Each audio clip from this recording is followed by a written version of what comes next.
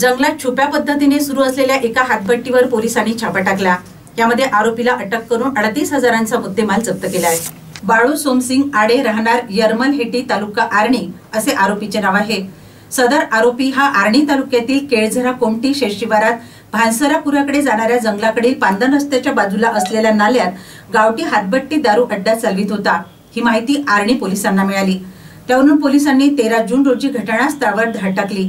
त्या ठिकाणी ड्रममध्ये तीनशे साठ लिटर मोहाचा अंदाजे छत्तीस हजार रुपये तसेच सहा लिटर गावठी दारू व इतर साहित्य असा एकूण अडतीस हजारांचा मुद्देमाल मिळून आला.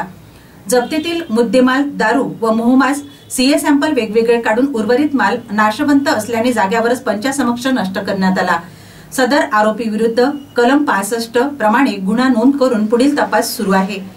ही कारवाई वरिष्ठ अधिकारी यांच्या मार्गदर्शनात आर्णीचे पोलीस निरीक्षक श्याम सोनटक्के सहाय्यक पोलीस निरीक्षक एस पी पाटील सतीश चौधर अशोक टेकाळे मंगेश जगताप अरविंद चेमटे आदींनी केली.